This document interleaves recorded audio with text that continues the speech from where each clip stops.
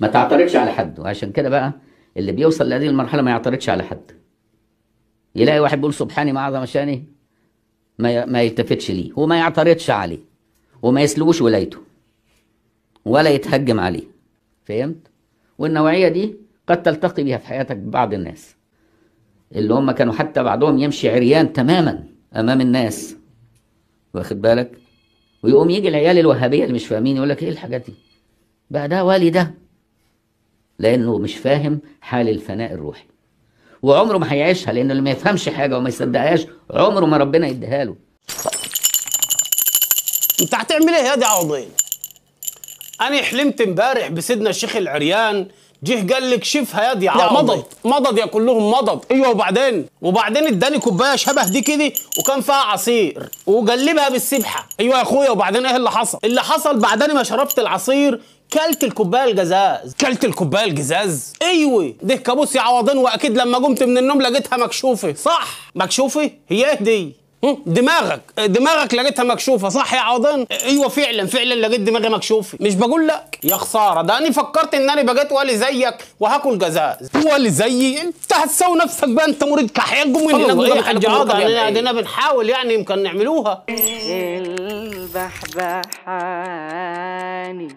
أعزائي المشاهدين متابعين قناة البحبحاني في كل مكان أحييكم بتحية الإسلام. السلام عليكم ورحمة الله وبركاته. أعزائي المشاهدين اعتقاد الصوفية في الكرامات هو نفس اعتقاد الهندوس في خوارق العادات. ما هو أصل مفهوم الكرامة؟ بتكون شيء خارق عن العادة لكن مش كل حاجة خارقة عن العادة بتكون كرامة. وعند الجماعة الهندوس أصلا غير عندنا إحنا المسلمين. بنعتقد إن الكرامة دي من عند ربنا بيديها لعباده الصالحين اللي هم الأولياء. لكن عند الجماعة الهندوس اللي يعرف يعملها هو ده الولي. بس هو ما اسموش ولا عندهم يعني. فاعتقاد الجماعة الصوفية أصلا في إن خوارق العادات دي ممكن أي حد يعملها لكن لازم يكون صوفي. وإن الولي أصلا برضه لازم يكون صوفي. مع إن ربنا في القرآن بيقول لك إيه؟ ألا إن أولياء الله لا خوف عليهم ولا هم يحزنون؟ الذين آمنوا وكانوا يتقون. فالمؤمن المتقي بإذن ربنا بيكون ولي. لكن في مشكلة صغيرة. الولاية مربوطة بالإيمان والتقوى. والإيمان زي ما قلنا قبل كده تصديق بالقلب وقول باللسان وعمل بالجوارح. الجزء القلب ده بقى انت ما تعرفوش ولا اطلعت عليه الجزئين التانيين ممكن المنافق يعرف يعملهم اللي هو قول باللسان وعمل بالجوارح. ممكن واحد يقول لك أشهد أن لا إله إلا الله وأن محمد رسول الله ويروح يصلي عادي لكن اللي جوه قلبه مكر ضد المسلمين. فممكن انت اللي بتشاهد الفيديو ممكن تكون ولي من أولياء الله ومش لازم تكون صوفي لكن شرط إنك تكون مؤمن. والكرامة أصلا عمرها ما بتخالف القرآن ولا السنة. يعني مش واحد ياكل إزاز أو يشرب مسامير أو حتى ينط في نهر النيل ويطلع سليم عادي يعني. الكرامة إما إنها نفع للمسلمين أو نفع لصاحبها نفسه. فمش معنى إنك عرفت تاكل خمسة كيلو لب في يوم واحد؟ فأنت كده خرقت العادة وبقيت ولي من أولياء الله. يعني سيدنا ساريه لما سمع سيدنا عمر بن الخطاب وهو بيخطب وبيقول يا ساريه الجبل الجبل. في كلا الناحيتين ممكن نقول إن الاتنين أولياء لكن الكرامة اللي عندهم نفع للمسلمين. وعشان ما أطولش عليكم ونشوف الكرامات بتاع الصوفية حابب أرد على الشخص اللي هيقول لي إحنا بنثبت للي مش مسلمين إن الدين بتاعنا صح. بغض النظر إن كل الأنبياء ما عملوش كده وبغض النظر إن 14 ألف صحابي برضه ما عملوش كده وبغض النظر إن الأئمة الأربعة برضه ما عملوش كده أحب أقول لك لو ده الدليل على صحة المعتقد فيبقى الهندوس دينهم أصدق من دينك. لأنهم بيعملوا حاجات أكتر من اللي أنت بتعملها. وكل دي بتبقى خفة يد. وجزء صغير جدا لا يتعدى ال 20% بيبقى سحر وشعوذة. أنا بقول خلونا نبدأ ونشوف كرامات الصوفية. خلونا نبدأ. أعزائي المشاهدين عايزين بقى نشوف الكرامات. أيوة يا حاج أيوة. أيوة يابا. آه. إيه الفرق ما بين ده؟ اللي بيغني اللي بيغني. قصدي اللي بيشيخ هو اسمه شيخ. وما بين عمرو دياب. لا ده بي بي بي بي بيمدح. وعمك الحاج اللي عمال ياكل إزاز. اللي متخيل إن هو كده بقى ولي من أولياء الله. ليه؟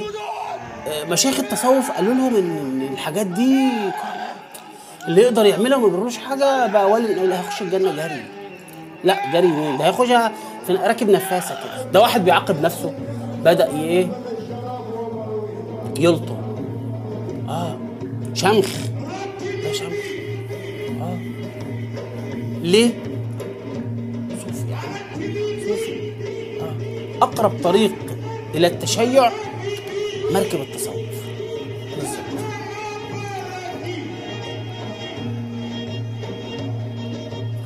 اقفل خلاص.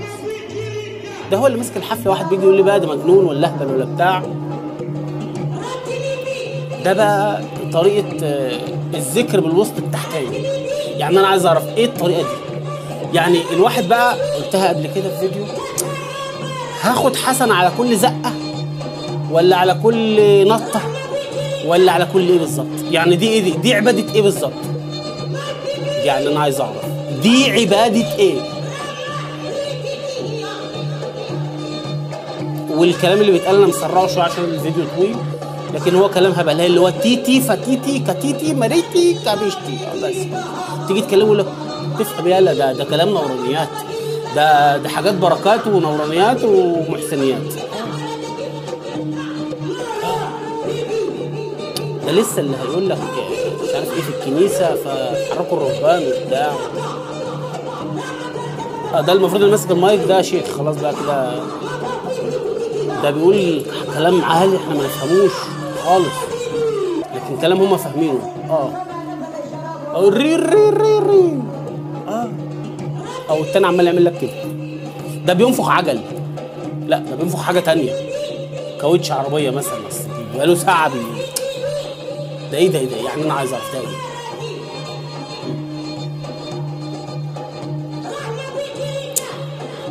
إيه ما أنا مش عارف. يعني دي دي.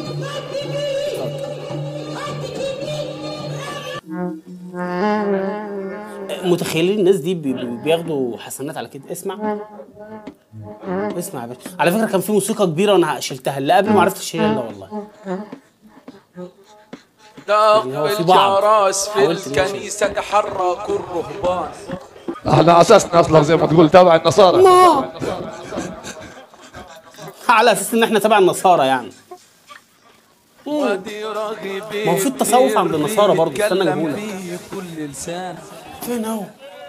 والله ما شاف. القسيس ما شافش الامام الرفاعي. أيوه أمال إيه؟ يا شيخ أهو. الصوفية عند النصارى. نفس ال نفس النظام. هبل وعبط وطائفة منبوذة وسط ال... كل ما الحوارات بين السر والنور ده شيخ برضه.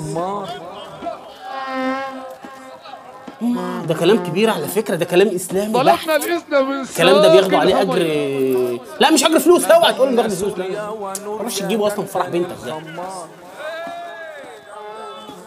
أهو أي هلس بيتقال ما بين سوريا ونوريا يدندن الخمار. ومش عارف مين كان ماسك المزمار.